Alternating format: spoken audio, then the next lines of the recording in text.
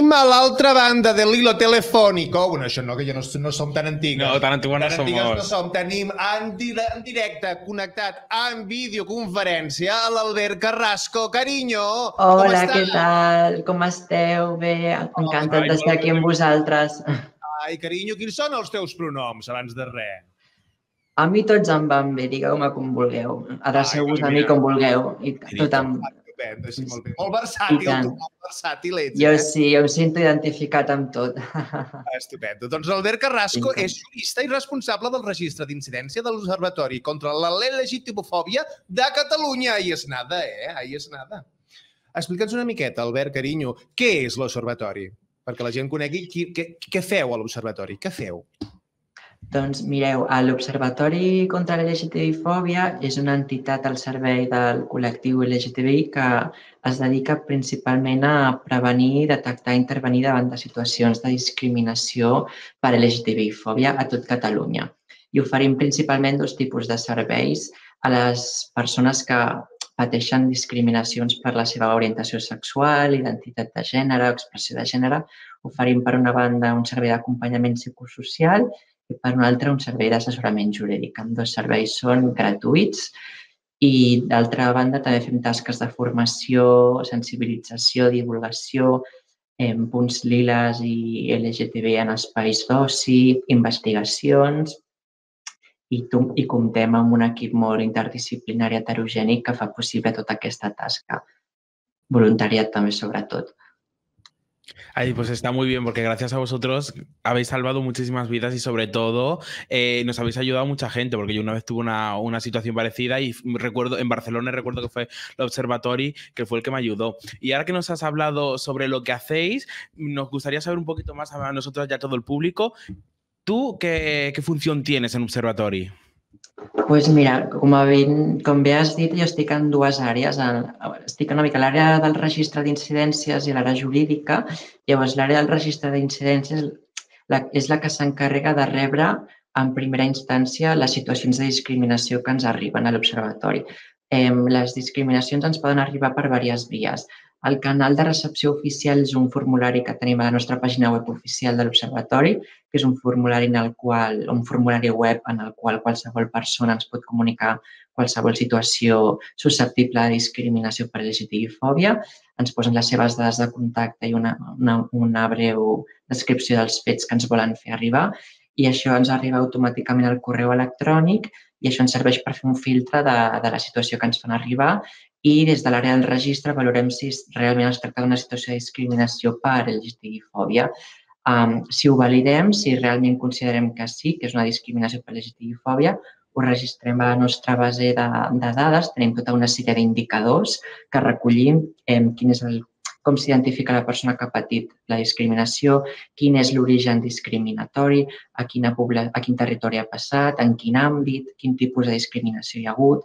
Llavors, tot això ho anem registrant en una base de dades anual d'1 de gener a 31 de desembre i un cop hem rebut la incidència ens posem en contacte amb la persona. Si és la persona directament afectada, doncs ens posem a la seva disposició per oferir aquests serveis que comentava abans d'acompanyament psicosocial i assessorament jurídic i veient de quina manera podem acompanyar-la en el seu procés de reparació de dignitat. Um, però, bueno, com veus, eh, el canal de recepció oficial ideal és la web, però ens poden arribar per altres vies. Eh, en els temps en els que vivim és molt comú que també ens assabentem d'incidències a través de xarxes socials, doncs, de gent que pateix agressions o discriminacions i ho comuniquen a Instagram, a Twitter, a diferents xarxes per TikTok i etiqueten l'observatori o, o fan un vídeo i es fa viral i ens acabem assabentant d'ofici, etc. Llavors, bueno, també ens poden trucar per telèfon, enviar un correu directament, presentar-se en persona perquè li acaba de passar, in situ, ens poden arribar per diverses vies. Però el registre és una mica el que s'encarrega d'això, de validar, rebre i registrar les incidències i després estic a l'àrea jurídica, que és una mica la que s'encarrega d'això, d'oferir aquest assessorament jurídic a, la, a les persones en cas que estiguin interessades en denunciar formalment allò que els ha passat, que no obliguem, sempre respectem la voluntat de la persona afectada. Si, si el que li ha passat es pot denunciar però no ho vol, respectem la seva voluntat. És només si ella ho vol denunciar formalment, doncs l'assessorem quines eines té al seu abast i això i intentem ajudar en el que puguem. Aquest és una mica el meu, el meu terreny. Però una associació també costa de sostenir, llavors em, també som poca gent a l'equip i jo també m'encarrego una mica de la gestió diària de l'entitat, tot el que és la burocràcia administrativa, els convenis, les subvencions, les justificacions, les finances, etc. Però, bueno, a tret general sí que, el que les àrees que em caracteritzen més són aquestes, la del registre i la de l'assessorament jurídic. I Albert, carinyo, tu que estàs en contacte amb els casos, parlem de número. Sí. Uh, sí. L'índex d'agressions que a dia d'avui podem, podem dir que, que hi ha hagut. A veure, vam tancar l'any 2023 amb 303 incidències per LGTBI-fòbia a tot Catalunya. És l'any que n'hem registrat més.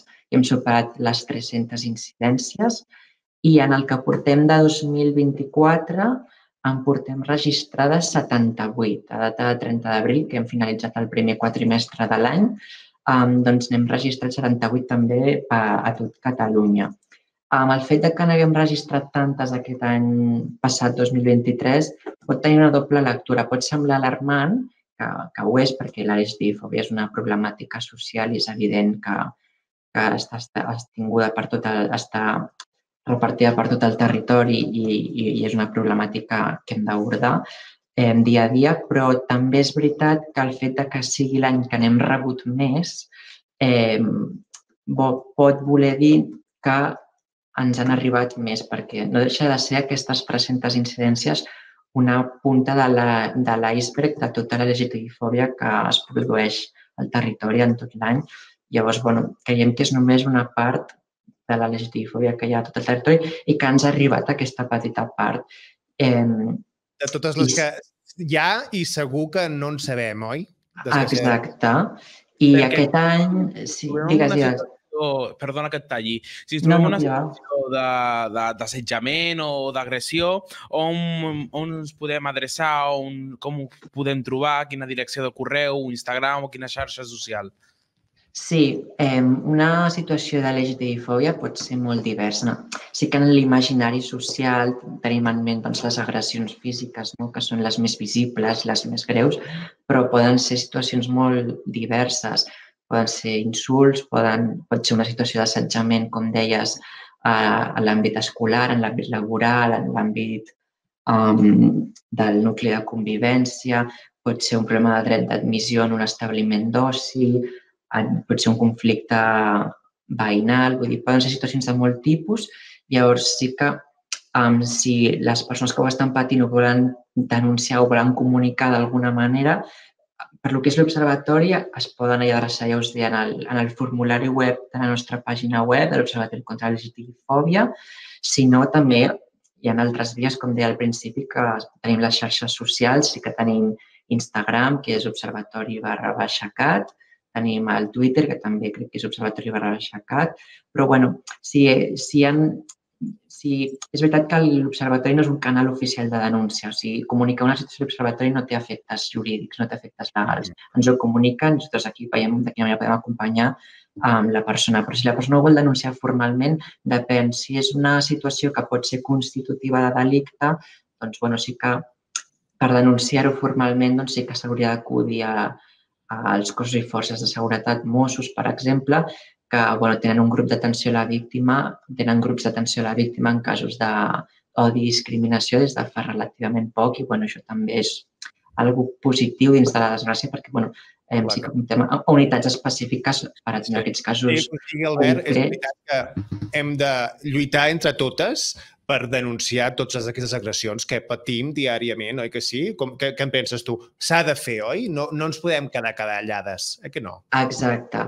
I l'activisme jo crec que es pot fer de moltes maneres. Evidentment que hem de sortir al carrer i reivindicar el nostre orgull i també l'erradicació de la LGTBI-fòbia però es pot fer de moltes altres maneres. Està implicat en la, implicada, implicada en la causa, um, ja és suficient i donant un cop de mà, sigui mostrant suport, fent difusió uh, per xarxes, en persona, uh, es pot fer de molta, fer incidència en les administracions públiques, vull dir, es pot fer incidència, pedagogia, eh, reivindicació de moltes maneres. I, i si és algú que, que si creiem i, i estem convençudes ho hem de fer entre totes i donar-nos suport entre nosaltres. No cal formar part del col·lectiu per, per formar part d'aquesta lluita i d'aquesta causa, però bueno, sí que és veritat que la majoria ens hi sentim no. identificades i bueno, fem pinya entre totes, evidentment. Les llibertats, les llibertats les hem de defendre tots. Ens toqui o no? no. I parlant de pinya, no sé si saps, Albert, que Tarragona torna un altre cop aquest any amb, amb el Pride 2024 més fort que mai. Eh, què, què suposa la, la celebració del Pride de Tarragona? Doncs per nosaltres és molt important perquè és veritat que sembla que l'orgull estigui, a Catalunya estigui molt centralitzat a la, a la ciutat de Barcelona, perquè sí que el Pride Barcelona està molt bé i té molts anys de recorregut, però, però bueno, el Pride s'ha d'estendre a tot el territori i Tarragona és una, és una província més de, del nostre país i és molt important que l'orgull també hi, hi sigui allà i que com a observatori no ens quedem només a Barcelona, perquè sí que és veritat que la nostra seu física és a Barcelona i costa més que ens arribin casos d'arreu de, del territori, doncs que nosaltres aquest any puguem, després de, de diversos anys, puguem eh, desplaçar-nos i venir a celebrar i reivindicar l'orgull a Tarragona és una gran notícia i esperem que ho puguem celebrar conjuntament de la manera més reivindicativa i festiva i amable possible i tant. Estem convençudes que ens ho passarem la mar de bé. I tant, carinyo. Aquí estarem esperant, dos. Clar, carinyo. Tu el 15 de juny què fas, Albert? Perquè t'esperem aquí a Tarragona, aquí a Tarragona eh? eh? Espero poder ser-hi, sí, ja ho tinc apuntat a l'agenda, i tant. Fosforitos, eh? Apunta tu en fosforitos, eh? Que fosforitos no de colors, i tant. Doncs mira, si tens l'oportunitat de venir, et proposem un repte, què et sembla? A veure què et sembla. Mira, tu, a, a, hi haurà una rua, tu saps, ah, sí? una rua que anirà una tota la... manifestació. I manifestació que anirà des de la plaça Corsini, Rambla amunt, Rambla amunt, fins a tocar ferro i tornar avall. Tu imagina't, Albert, que tu tinguessis, mira, una, una pancarta com aquesta, què hi escriuries que l'Odisseu escriurà, carinyo? Com mi letra de doctor. Bueno, tu no pateixis, que tu... Bueno, tu, enfermera. Tu saps escriure, oi, carinyo? Que en sí, saps, eh? Claro, doncs, no, per un canuto. Ah.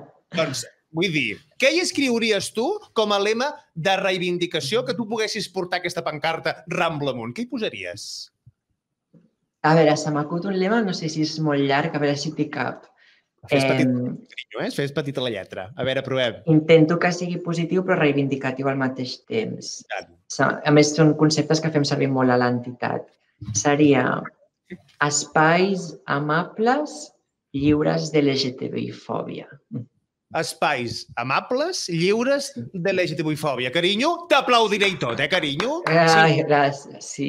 Sí, senyor, sí, senyor. Que puguem anar pels carrers, que puguem ser sí. No a casa nostra, que també, sinó no, a, sí. a tot el nostre país. Ai que sí.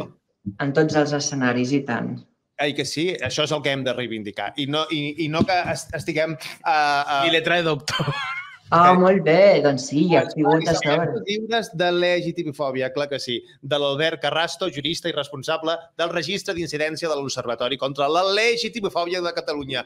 Albert Carinyo, un plaer haver comptat amb tu. Igualment, igualment, companyes. Des de tot el nostre cor, gràcies per tota la vostra lluita i tot el vostre suport. Gràcies per haver ajudat a les mariquitas del mundo. A, a vosaltres. Sense vosaltres no, no, no podríem fer la nostra feina. Clar que sí. Entre Ens tot... veiem a l'orgull. Ens veiem, carinyo. Petons per a totes i totis. Igualment, molts petons a Tarragona. Gràcies, Albert. Aviat. Que vagi bé. Petonassos, adeu. Pride Tarragona Podcast. L'orgull és nostre.